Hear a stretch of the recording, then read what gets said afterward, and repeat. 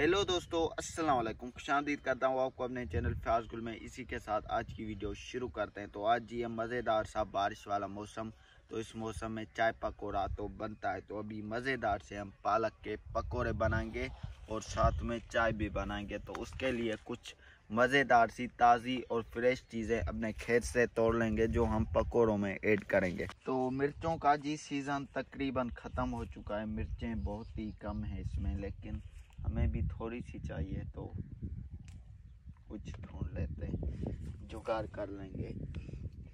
ये देखें, मिर्चें जो हैं वो लाल हो चुकी हैं, बाकी सब्ज़ मिर्चें इसमें कम हैं। लेकिन हमें कुछ थोड़ी ही चाहिए छोटी छोटी भी चल जाएँगी तो तोड़ लेते हैं जी। सीज़न ख़त्म होने वाला है इनका तो इस वजह से हैं, ऊपर से नहीं है। तो नीचे से मिल जाएँगी। जुगाड़ कर लेंगे हम अपना। ये देखें माशाल्लाह फ्रेश। इन चीज़ों में अपना ही टेस्ट होता है, क्योंकि ये चीज़ें फ्रेश होती हैं तो इनका टेस्ट जो है वो दुबाला होता है। तो अभी जी हरा धनिया तोड़ेंगे। ये थोड़ा मेला मेला हो चुका है, क्योंकि इससे कल हमने पानी दिया था। तो घर जाके इसे धो लेंगे। मज़ेदार ये जो चीज़ें होती हैं ताज़ा ताज़ा इनका टेस्ट अपना होता है। बहुत ही मज़े की होती हैं और बहुत ही खुशबूदार। तो पालक का भी जी सीज़न ख़त्म हो चुका है तो पालक भी थोड़े थोड़े हम थोड़े थोड़े हमें थोड़ी थोड़ी ही चीज़ें चाहिए, ज़्यादा नहीं। तो थोड़े थोड़े पत्ते तोड़ेंगे, हमारा काम हो जाएगा, ऐसे। तो मज़े के बनेंगे पकोड़े, इसलिए ये चीज़ें ज़रूरी हैं। तो सारी चीज़ें जी हमने तोड़ ली हैं। अभी घर चलते हैं और मज़ेदार से पालक के पकोड़े बनाएँगे। अभी बारिश हो गई तो ये ये जो हमारी गंदम है, इसका हो जाएगा नुकसान, क्योंकि ये आलमोस्ट पकने वाली है तो बारिश इसके लिए नुकसान कार है। तो अल्लाह से यही दुआ है कि आज बारिश ना हो, बाकी जो अल्लाह पाक को मंसूर तो अभी मज़ेदार से पालक के पकोड़े बना के इंजॉय करते हैं। तो सबसे पहले जी, ये जो हम चीज़ें लेके आए हैं, इनको बारीकी से काट लेंगे। अच्छे तरीके से। और सूरज भी निकल चुका है, हो सकता है कुछ देर बाद बादल हों, और हो सकता है मौसम ऐसे ही रहे। तो पकोड़े तो हमने तैयारी कर ली है ज़रूर खाएँगे। ये चीज़ें काट लेते हैं। तो अब धनिया काट लेंगे एकदम बारीकी से।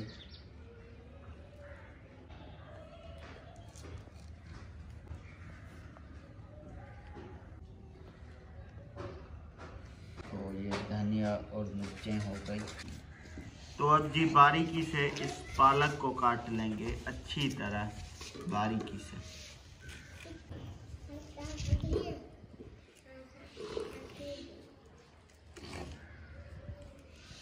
ना ज़्यादा पालक को बारीक करना है और ना ही मोटा रखना है। अच्छे से काट लेंगे।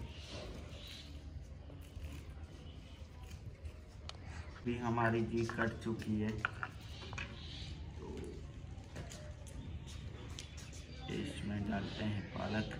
तो ये जी प्याज भी हमने एक तोड़ लिया था खेत से तो इसको भी चॉप कर लेंगे।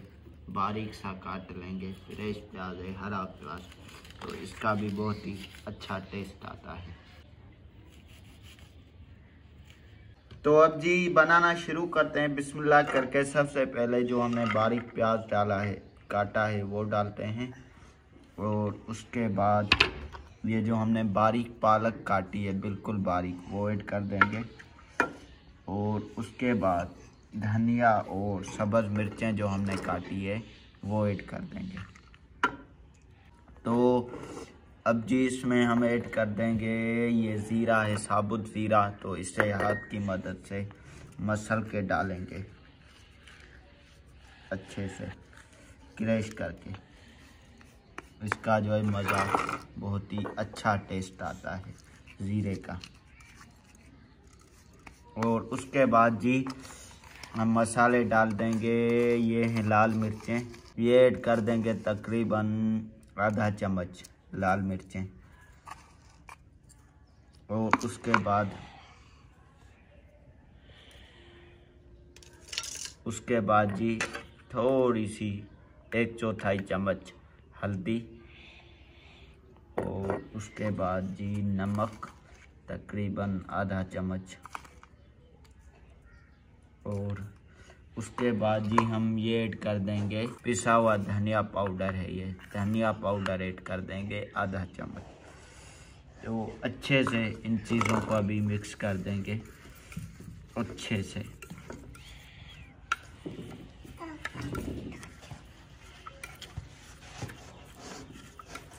पकौड़ों का आटा ऐड कर देंगे और मिक्स कर देंगे।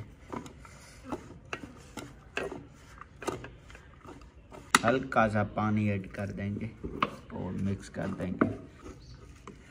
तो अच्छी तरह हमने मिक्स कर लिया है। अब पकौड़ों का आटा मज़ीद ऐड कर देंगे और मिक्स कर देंगे। और पानी ऐड कर देंगे।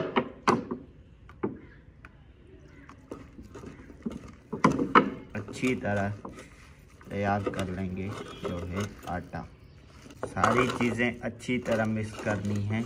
ना ज़्यादा पकौड़ों का आटा डालना है, ना ही सब्ज़ियाँ। सारी चीज़ें अच्छी तरह मेंटेन रखनी है। तो बिल्कुल ऐसा ही हमें बेटर चाहिए।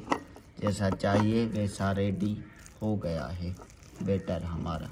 अब पकौड़े निकालने की तैयारी करते हैं, आग जलाते हैं। तो आग जी, अल्हम्दुलिल्लाह, हमारी जल चुकी है तो ये कढ़ाई हम रखेंगे आग पे। इसमें जाएगा जी कुकिंग ऑयल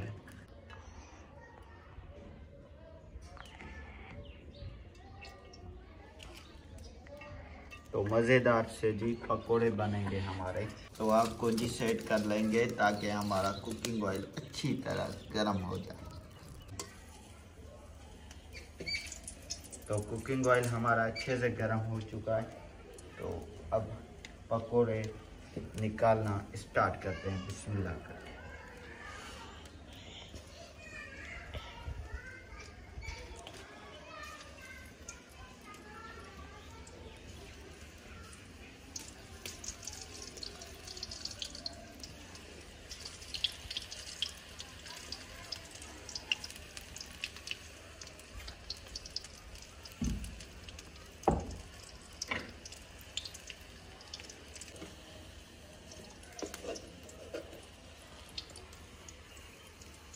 अल्हम्दुलिल्लाह जी पकोड़े रेडी होना स्टार्ट हो चुके हैं हमारे।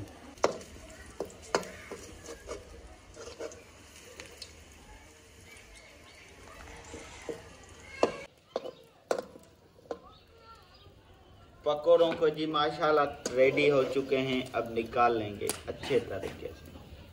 बहुत ही क्रिस्पी मज़ेदार पकोड़े हैं हमारे। कलर चेक करें, माशाल्लाह। निकाल लेते हैं। तो फिर से जी पकौड़ों का बेटर लगाते हैं और निकालते जाते हैं। माशाल्लाह से बड़े ही मज़े के बनेंगे इन हमारे पकौड़े जो हैं। तो फिर से जी पकौड़े निकालते हैं।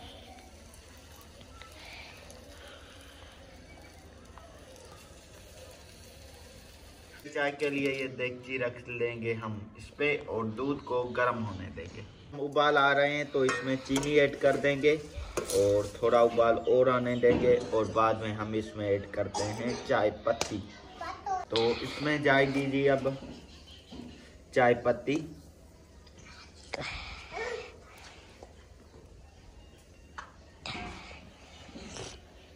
तो अभी मज़े की हम चाय बनाते हैं। बिल्कुल मज़ेदार चाय, दूध, पत्ती उबाल देखें कैसे आ रहे हैं चाय में। तो मज़ेदार जी, चाय हमारी में उबाल आ रहे हैं। ऑलमोस्ट चाय हमारी रेडी होने वाली है। मज़ेदार सी दूध, पत्ती, पकोड़े भी इधर रेडी हैं और दूध, पत्ती भी रेडी है। तो मज़े से खाते हैं। देखें, माशाल्लाह माशाल्लाह, किस तरह हमारी चाय बन रही है।